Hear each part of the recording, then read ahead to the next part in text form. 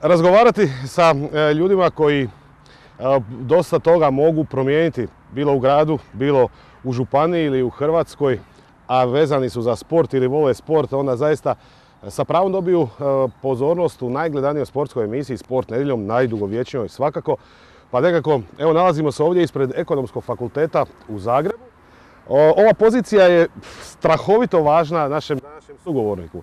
Riječ je o bivšem košarkašu e, Davoru Filipoviću, e, kandidatu za gradonačelnika grada Zagreba ispred Hrvatske demokratske zajednice. E, s obzirom da smo već kroz emisije doticali teme, politika i sport, ono što je najvažnije, voljeli bi sad čuti od najjače hrvatske stranke i njenog kandidata kako vidi Zagreb, kako vidi sportski Zagreb, kako vidi sportsku Hrvatsku.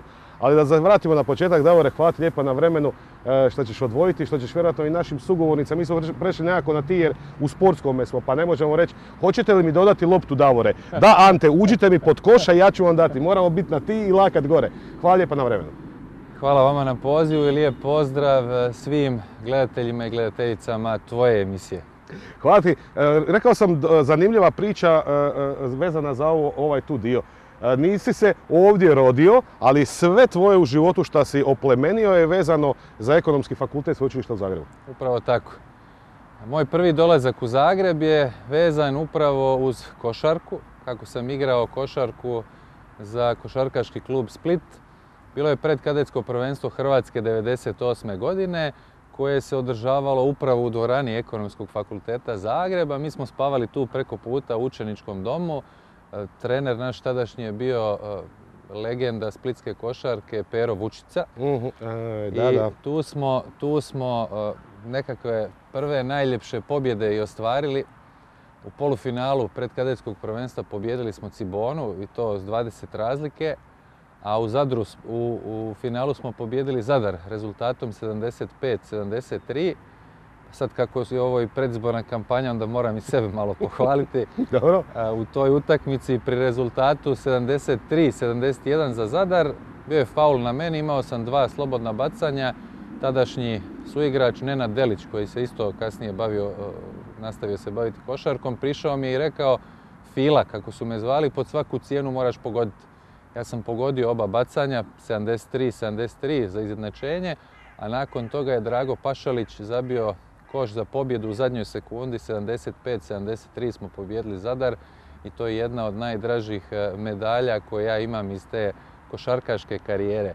A zašto je ovaj dio ovdje bitan? Pa danas sam tu izvanredni profesor na katedri za organizaciju i menadžment, a na ekonomskom fakultetu sam upoznao i svoju suprugu. Tako da evo, sve ono što je lijepo je i tekako vezano za ovaj dio grada u kojem se nalazimo. A sad gledaj kako ću ja Fila poentirati i, i intervju sportski najjači koji ćeš dati, da ćeš ispred najjačoj emisiji ispred svog fakulteta. Pa sve vezano. A ne može jače. Pa ne može jače. Mislim da je Bubica broj jedan, prema tome, a inače ja tu Bubicu imam kod sebe, moram pustiti, čovjek je ipak broj jedan. E, Davore, e, ono što je vrlo važno kad govorimo o, o toj sportskoj karijeri tvojoj, jer zaista nam je želja uvijek i uvijek, ali stvarno kroz emisiju borimo se za sport, laktovi su na koljena crvena od traženja pomoći kako na državnoj, tako na lokalnoj razini. E, jer sport nedeljom ide po Hrvatskoj i borimo se da taj riječki sport i za sretni smo kada, Pampas vidimo da u Osijeku se gradi i tako dalje, ali tvoja još karijera zanimljiva, pa čekaj, stvarno bio na Europskom prvenstvu 2002. godine? Jesam. Moja generacija... To, to je, oprosti, to je generacija Marka Tomasa, jel tako? tako Banića. Ba, Marka Banića, Zlatna Roka medalja, Ukića, svaka čast, bravo. Pa mi smo u mlađim kategorijama u Hrvatskoj osvojili sve što se moglo osvojiti sa Splitom. Bio sam dva puta kadetski prvak, jednom juniorski prvak Hrvatske, a cijela ta generacija na razini zemlje je bila iznimno jaka, pa smo tako od 2002. godine osvojili europsko juniorsko zlato u Stuttgartu. Vodio nas je Joško Pulja, koji je postizao vrhunske uspjehe i sa generacijom 80, e, rođenom 82. godine, to su Planinić, Marko Popović, sjećate se onog mhm. prvenstva u Zadru, kada su oni nažalost izgubili od Francuske predvođene Tonijem Parkerom. Mi smo u finalu pobjedili e, juniorskog prvenstva, pobjedili smo Sloveniju, za koju je igrao Saša Vujačić, e, Razem Lorbek i niz jakih slovenskih igrača. 2003. godinu dana kasnije... Je bilo svjetsko, jel? Tako je, bilo je svjetsko prvenstvo u Solunu. Tada smo osvojili četvrto mjesto, nije bila medalja, ali smo bili isto jako uspješni. U polufinalu nas je zaustavila Australija sa Andrewom Bogutom. To je bila utakmica za koju sam bio uvjeren da ćemo ih e, dobiti. E, čak sam prije ispričao jednu anegdotu, čak, čak sam prije te utakmice nazvao svog oca u Split iz, iz Soluna i rekao kako je bila kladionica nekako u našoj zgradi, reći kladi se sve stavi na nas. A na poluvremenu je Bogut već imao 25 koševa i 14 kokova. Osjetio sam kuće priča i dobra, e? Australija nas je nažalost pobjedila, a moj prvi poziv je išao kući e, u Split kad je završila utakmica, sad potonuo radi rezultata, još sam mislio, majko Bože, ako me otac poslušao na što će to ispast, Međutim, otac je ipak e, bio razuman čovjek. Razuman, pa nije se išao u kladionicu jer se on nikad u životu nije kladio. E, da, odlično. E, volimo pričati s ljudima koji su u politici, a vole sport i baštine sport i nekako pa i progutamo nekad i, krive korake onih koji nas vode, bilo kao što smo rekli na lokalnoj, na nacionalnoj razini, ali kad znam da vole sport ili barem o njemu pričaju, ekonomski fakultet, ja kad sam gledao e, taj, taj, taj, hodogram tvoj sportski, vrlo brzo je karijera završila, e, odlazak u Ameriku, tamo si igrao na sveučilištu, vratio si se tu i nekako vrlo brzo si ušao u nekakav svijet ekonomije, biznisa, sve nekako tvoje radovi ili nastupi ili predavanja, ekonomija, management, e, dakle sve vezano za ono što nas zanima kad je novac u sportu u pitanju. Zašto, zašto u politiku. Kako u politiku? Pa ovako, ako se smijemo svrnuti malo i dotaknuti malo Amerike. Dobro. Poslije ovog juniorskog zlata otišao sam u Ameriku, dobio sam stipendiju. Mhm. Tamo sam igrao na sveučilištu Fairleigh Dickinson University. To je najjači rang sveučilišne košarke. I to ću još jednu anegdotu ispričati, dozvolit ćete mi. Prva velika utakmica je bila protiv sveučilišta Minnesota i došli smo tamo dan ranije i specifično je to što imaju parket podignut ovako metar od, od, e, zemlje, tako i novinari ga koriste kao stol.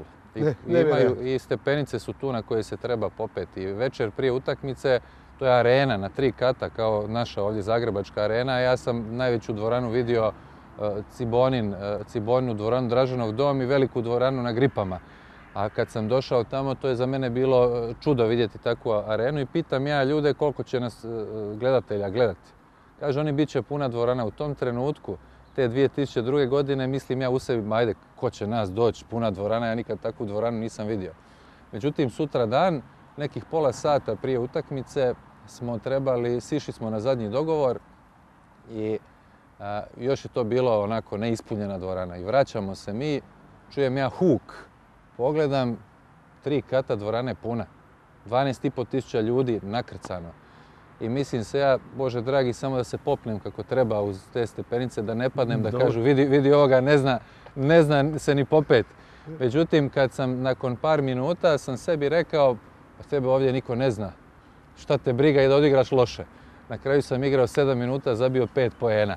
Ali evo, vratimo se na, na ovu priču koja je vezana uz ekonomiju. Poslije tog Amerike vratio sam se u Hrvatsku, završio fakultet ekonomski u Splitu. Igrao sam za Alkar i Sinja prvu ligu.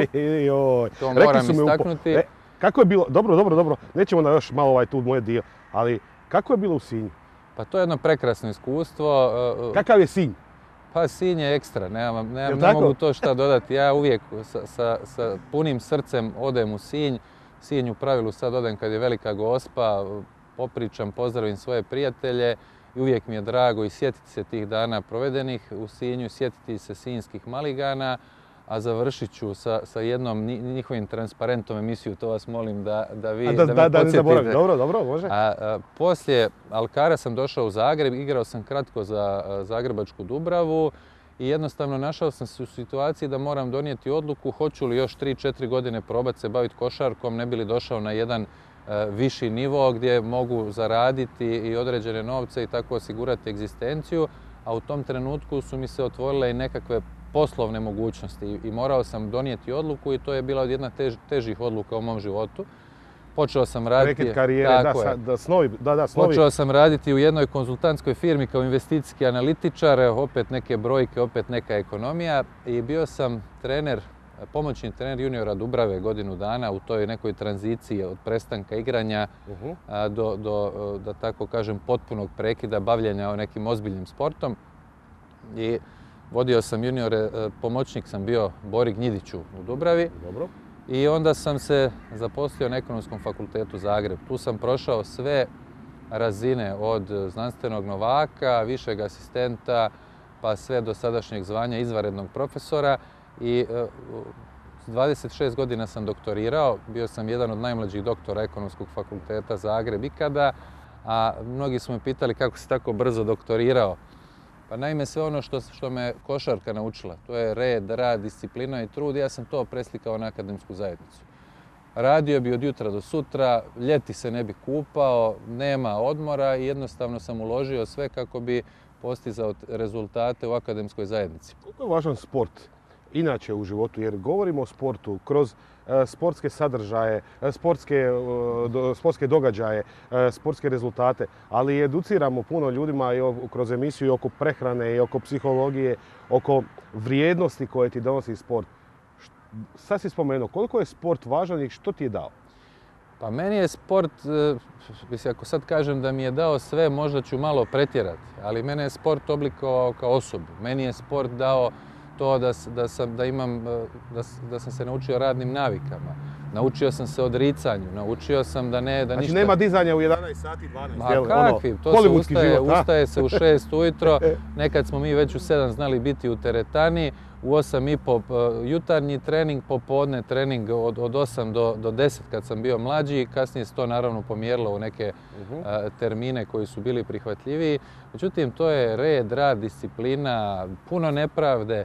E, Sport, košarka te nauči puno više, puno prije životu nego kad nisi u sportu. Naravno, tu je bitan i taj dio zdravlja, prehrane, ali i izgradnje čovjeka kao osobe. Ja sam s 18 godina otišao u Ameriku i to nije bila laka odluka. Dođete, tamo nemate nigdje nikog svog, morate se boriti za sebe, a, a kako Amerikanci znaju reći, e, lopta ne laže. Vi kad izađete na parket, vi ako niste trenirali više od drugog, ako ne možete trčati više od drugog, ako ne možete odigrati obranu, vi ćete izgubiti.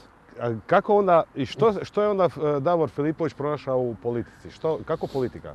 Politika ne možete, e, stvari se na bolje ne mogu mijenjati bez politike. Prema tome, ja sam se u politiku uključio aktivnije 2014. godine kad sam postao docent na Ekonomskom fakultetu Zagreb, zapravo kada sam riješio sve svoje egzistencijalno pitanje što se tiče profesionalne karijere.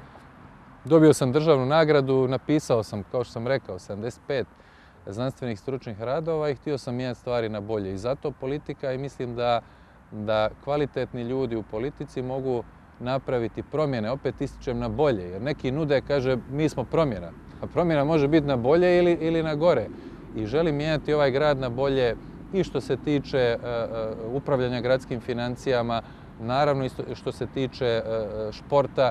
Kao športaš imam poseban sentiment prema svima koji se bave sportom, nevezano je li to rekreativni, je li to profesionalni i tako. Ali, ali da- jer je ovo na neki način upoznavanje sportaša, političara, političara, sportaša i ekonomiste prije svega. Ali zašto HDZ? Zašto ne, recimo, ne znam, SDP ili Most ili nešto tako? Pa ja sam oduvijek pripadao svjetonazorski Hrvatskoj demokratskoj zajednici. Prema tome za mene je to bio logičan, logičan izbor i, i zato sam tu u najjačoj državotvornoj stranci u našoj domovini. I e, raz- radeći razgovore po cijeloj Hrvatskoj sa ljudima, uvijek ih je strah promjena. Strah ih je promjena, strah ih je e, e, ne, ne- ne- dolaska lju- možda ljudi ili, ili struktura e, ili političkih opcija, govorimo sad samo o sportašima, ne, zaista ne govorimo o drugim lju- ljudima, sferama e, hrvatskog društva, ma meni je važno samo da on voli sport. E, ta nekakva agenda je vodila se oko u Za- u Zagrebu kada je bio pokojni Milan Bandić, da je volio sport i da je davao sportu. To ide i ministra Zdravka Marića, to ide i e, gospodina p- premijera Plenkovića. E, ima tu još e, i od drugih nekih opcija, ali vrlo malo drugi pričaju o sportu. Zašto je to tako? Ima jedna šala koja kaže da jedino beba sa mokrim pelenama voli promjenu. Tako da ja mogu razumjeti ljude koji, koji se boje određenih promjena, a zašto određeni, pa reći ću moji protukandidati malo pričaju o, o športu. Pa volim se nekad našaliti i reći, pa oni ne pričaju, oni zapravo pričaju malo o športu zato što nisu nikad u životu napravili ni sklek ni čučen. A svak onaj tko se na bilo kakav način bavio športskim aktivnostima zna koliko je to važno i za svakog pojedinca, za svakog osoba, a u ostalom i za društvo u cjelini. Pa evo ispričat ću vam nekakva moja iskustva. 2016. sam išao na sveučilište u Houstonu držati gostujuće predavanje i naravno napravio sam mali uvod. I znate li od, od svih naših postignuća što su ljudi i koga su prepoznali? Prepoznali su Dražena Petrovića, to, ali nakon toliko godina, to ne možete vjerovati, mene to oduševilo. Prepoznali su Luku Modrića, prepoznali su Gorana Ivaniševića, prepoznali su Janicu Kostelić, to su ljudi prepoznali. Nažalost, neke druge uspjehe koje smo imali, ljudi to tamo nisu prepoznali. Prema tome, ne trebam ja više objašnjavati što sport znači, a... problem je recimo e, kod financiranja športa u gradu Zagrebu. Ja sam u protekle četiri godine bio i zastupnik u gradskoj skupštini. Mhm. Tamo sam uredno replicirao mojim, nekim od mojih protukandidata, sada reći ću otvoreno Tomislavu Tomaševiću, kad god je bila rasprava o proračunu, on se zalagao da se smanje sredstva za šport, da se smanje sredstva za profesionalni o profesionalnom sportu, jel? Je, govorio o profesionalnom športu, ali bez profesionalnog športa, bez vrhunskih rezultata naših reprezentativaca, pa nema, Nemaš pa onoga idola. tako je, pa djeca neće imati koga gledati i vidjeti. Neće dijete uzeti loptu pa reći idem na igralište, idem odigrati, e, idem na hakl sa svojom ekipom, idem nogomet odigrati, toga nema. Prema tome, ono što našem gradu treba je odgovorno upravljanje financijama. Kad se odgovorno upravlja financijama, kad nema sramotnih projekata poput Sljemenske žičare gdje je vrijednost projekta otišla sa 300 na 750 milijuna kuna, onda i tekako ima prostora da se ulaže u sve sportske aktivnosti u našem gradu, a s posebnim sentimentom ću činiti sve da se standard koji naši e, sportaši u gradu imaju, da se taj standard i zadrži i učinit ću sve da ga unaprijedim. Znači govorimo ne treba strahovati Sandra Perković, ne trebaju braća Sinković, ne treba odbojka na Savi, vaterpolisti, Cibona. Ni slučajno. Sve ću učiniti da zadrže sve ono što imaju do sada, a i uložit ću jedan ozbiljan napor da se ti uvjeti i poprave. Tako je. E, Davore, e, nekako posljednjih desetak godina, mislim da se sad čak, prije neki dan smo razgovarali, ako me moj producent može ispraviti, o tenisačima, koliko ih ima vrhunskih tenisača u gradu Zagrebu i ima terena, a imaju dva i mislim da je jedan čak došao iz Rijeke. E, je, da, e, Mektić i Škugor, ne, pardon, ali onda govorimo o nekom drugom sportu gdje su e, došli sa strane e, dečki iz, ne znam, recimo Splita Rijeke da bi pojačali tu kvantitetu A kategoriziranih sportaša. Zagreb je zadnjih više od deset godina postao ishodišna točka hrvatskog sporta. Kad govorimo o ovim protukandidatima, e, konkretno o tvojima, e, rijetki su, ima ih, ali rijetki su koji zaista govore sportaši, a ima ih veliki broj. Prezentiraju Zagreb, prezentiraju Hrvatskoj. Ne brinite se, infrastruktura koja je bila do sada bit će još bolja. Učinit ćemo sve da taj Maksimirski stadion zatvorimo. Pa gle čuda, sad se počeo pričati opet o Maksimirskom stadionu. Sad se počelo pričati zato što je to in. Međutim, treba pogledati, uvijek kažem, životopise svih e, kandidata pa vidjeti tko je što radio. Jer kaže se nije bitno tko e, nešto govori, nego je bitno što radi. Prema tome, moja biografija, pa i ova koja se odnosi na košarku, jasna je garancija svim športašima u našem gradu da ću učiniti sve da zadrže sve što imaju, kao što sam rekao, i da njihovi uvjeti bude još bolji. Što misliš o Dinamu, Davore? Pa i Dinamo skidan kapu za ovo sve što su napravili u Europi. Mislim da smo svi bili tužni e, nakon ove utakmice sa Realom, međutim mora se skinuti kapa i stvarno im reći jedno veliko hvala jer posebno u ovim korona uvjetima e, uspjesi Dinama su nas ove godine još posebno veselili jer, kad je sve tako u tom nekakvom kriznom razdoblju oni su nam svaki dan s njihovim pobjedama je bio sve ljepši i ljepši i davali su i nekakvu nadu, ali općenito i sjetimo se i rukometašica i njihovih vrhunskih uspjeha, sve u ovom nekakvom pandemijskom vremenu. To je nešto da, da jednu nadu naciji.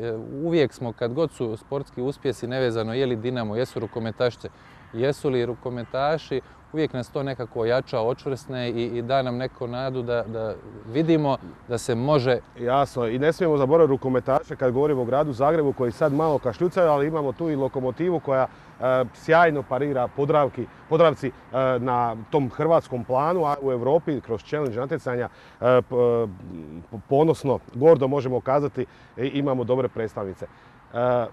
Ako nakon 15. svibnja ili nekog datuma iza, Davore, postaneš gradonačelnik. sa- Šest- 16. su izbori, moram... Še- še- 16. svibnja, ja sam rekao 15. jel? dobro, dobro. E, To samo podsjećam da morate izaći na glasovanje. ne, ne, ne, ne, ne, to se zna, ma to se zna, u obitelji se zna da je to obaveza, to je praznik demokracije i treba ga iskoristiti. E, kako ćeš riješiti ono pitanje koje svi sad pitaju? Hoće li e, Dinamo dobiti koncesijski poziciju Maksimira, pa neka sam gradi, ili kao što recimo iz strukture gospodina Tomaševića kažu, e, mislim da to grad mora zajedno sa klubom napraviti. Znači, grad se ne smije zaobići. Koja bi bila najoptimalnija varijanta za rješenje Maksimirskog stadiona i to sutra, ono što se kaže? Kako Jučer, ja vidim rješavanje e, novog stadiona na Maksimiru kojeg ja zagovaram jer su e, dečki stvarno zaslužuju imati stadion kakav imaju veliki, drugi veliki europski. Reprezentacija kad dođe. Tako je, mislim i upravo e, ti spomenuo sad reprezentaciju. Stadion se mora rješavati u partnerskom odnosu između grada, Dinama i Hrvatskog nogometnog saveza. Mhm. Prema tome svi trebaju sjesti za stol i naći onaj model koji će biti na zadovoljstvo svima, svima u gradu Zagrebu, jer kao što sam rekao, mi moramo imati jedan ozbiljan stadion gdje će igrati i reprezentacija, a šta ćemo s Cibonom? Ja nekako onako idemo prema smiraju ovog razgovora, ali baš kroz sportsku prizmu. Košarkaš govori o, o- o- o- sportskim temama, a mora ući malo ipak dublje uh, lopatom u, u- u- u- košarku. I vjerojatno smo do nekog izvjesnog perioda prošlo svršeno vrijeme kada je Euroliga u pitanju. A i to me zanima tvoje mišljenje o Superligi nogometnoj koja, je, koja bi pokušala je barem biti ono što je Euroliga u košarci, taj zatvoreni krug bogatih klubova. Cibona je ponos ovog grada, Cibonu vole ljudi. Jedna pobjeda protiv Partizana ili nekog protivnika koji uzbuđuje, odmah je 6000, Smogovci, Hea, Hea, Cibosi i kako je dobro vidjeti te opet. Tako je. E, hoćemo li ikad doživjeti ovdje u Zagrebu veliku Cibonu na europskim standardima? Vjerujem da hoćemo. Jedna poslovica kaže gdje je volja velika, problemi su mali. Kod mene je velika volja da se košarka u gradu Zagrebu vrati na, onoj razini, na onu razinu gdje je bila nekada, da, da, da budemo ozbiljan faktor ne samo u ovoj ABA ligi, nego u, e, na europskoj razini. To se može napraviti ozbiljnim ulaganjem prije svega u mlađe kategorije i odgovornim pristupom prema novcima koje dolaze u Cibonu i koje, će dolaziti u Cibonu i e, e, sa rezultatima. E, Nažalost, ja nisam do sad vidio da, da je neko, primjerice, bilo je teških poraza ove godine, za mene iznenađujućih poraza, kakvi se nikad nisu događali, mislim da je bio poraz od 42 razlike, pa 37 nešto u nizu. A tu se mora postaviti pitanje odgovornosti ljudi koji vode te klubove. Ne možete do- dobijati kontinuirano sredstva, ne ostvarivati nikakve rezultate i praviti se da je sve u redu. Nije. Ono što e, želim napraviti u gradu Zagrebu je uvesti sustav ocjenjivanja svih gradskih službenika, nevezano rade li u gradskoj upravi ili rade u gradskim poduzećima. Pa kad se bude plaća vezala uz tu radnu uspješnost, svi će se više truditi da, da, da pruže kvalitetniju uslugu našim To je sugrađanima. neki američki a? jednako, dio sigurno, a jednako tako i u Ciboni i u drugim e, e, športskim kolektivima. Prema tome treba vezati sredstva koja idu u određeni klub sa postignutim rezultatima i treba jako puno ulagati u trenere, u mlađe kategorije. i Davore, tu- bi li tu- igrao FIBA Champions League? Da ti se povode, evo da si u Ciboni, bi, bi li je ignorirao u kontekstu igrat ćemo, nemamo novaca, igrat ćemo plaćenu ABA ligu i Hrvatsko prvenstvo? Pa nedostaje nam u Ciboni e, neka Valencija, ajde Buba Aris, nekakav Paok, ne znam ko ne igra te Champions lige Fibine, ali sigurno klubovi koji imaju svoju težinu. Tako je, i imaju ugled u Europi, nevezano paok i uvijek paok. Karikiram sad. Ma jasno, e, ali, e, ali on ima, znam, znam što si htio reći, on ima težinu, igrao bi bilo koji oblik e, europskog natjecanja. Tako je. Baš bilo koji, jer, jer naši ljudi su gladni utakmica tih europskih i to je ono što treba što treba vratiti u Draženov dom. I to je isto jedan put, da, da se postavi jedna struktura koja će postaviti ambiciozne ciljeve uz maksimalnu potporu, nadam se sutra mene kao gradonačelnika i da se korak po korak to krene malo vraćati. Dobro. I ovako pred kraj, nisam zaboravio pitanje, ali Super Liga, evo sad svi su kroz nogometnu priču, ali to, to se već u košarci dogodilo. Znači zatvoren krug ljudi, krug klubova, a i ljudi koji ovaj, participiraju. Zvezda će možda dobiti zajamčeno na dvije godine pa se postavlja pitanje onda što će nam takva ABA liga, jel tako? Tako je. Što ćeš igrati tako? Ima, ako ovaj prvak, kogod bio prvak ide, ide, ide u Euroligu, a zove se Crvena zvezda. I e, e, e, je, što, moćnici veliki poručuju time kad rade super lige, te zatvorene lige? Mislim da, evo da su izgleda su čučni, navijači su ipak rekli svoje. Meni je, meni je drago da je uz pritisak i navijača, ali... Medija, politike i politike da, da se odustalo od te ideje. Za to sam da svi imaju mogućnost participirati u europskim natjecanjima i to na temelju ostvarenih rezultata. Ovo što se tiče ABA lige, očekujem i od Hrvatske košarkaške pameti koje ima jako puno, da svi sjednu za isti stol i da se razmotri što je najbolje za hrvatsku košarku što se tiče budućnosti. Je li to participacija u takvoj ABA ligi koja nama trenutno ni na koji način ne odgovara. Vjerujem da ćete se i vi, i vi složiti s tom e, konstatacijom i ponovno kažem ulagati u mlađe kategorije, ulagati u trenerski kadar. To je jedino put uz puno, puno rada da se vratimo tamo gdje smo negdje bili. A e, što se tiče e, nogomet... Super lige i tih lige, Tako je, isto tako sam, kao i svi navijači, protiv tog načina funkcioniranja jer treba svima omogućiti da participiraju u vrhunskim natjecanjima, a recimo da je takav koncept usvojen, mi bi imali ozbiljne reperkusije za naš nogomet. Prema tome mi moramo u cijeloj toj priči koja je međunarodna, uvijek moramo gledati na koji način zaštititi naš i nogometni, i košarkaški i bilo koji drugi športski interes. E, sa Davorom Filipovićem mogli bi još satima pričati jer čovjek apsolutno razumije sport i ugodno je razgovarati. E, rekao si da je to napomenjen transparent ili nešto sinski maligani, što je bilo? Tako je, u Sinju je uvijek stajao transparent na kojem je pisalo neka dođu. A to ja iz ove tvoje emisije poručujem svim mojim e, protukandidatima u ovoj političkoj utakmici neka dođu. Sve je rekao gospodin Davor Filipović, pratit ćemo njegov rad, posebno ako e, sjede u fotelju gradonačelnika. E, puno sreće želimo. Hvala puno. Idemo dalje ljudi, e, sport nedeljom, 646. izdanje. Davore, moj 15 godina. Svaka čast. U, trajemo jako dugo. Idemo dalje.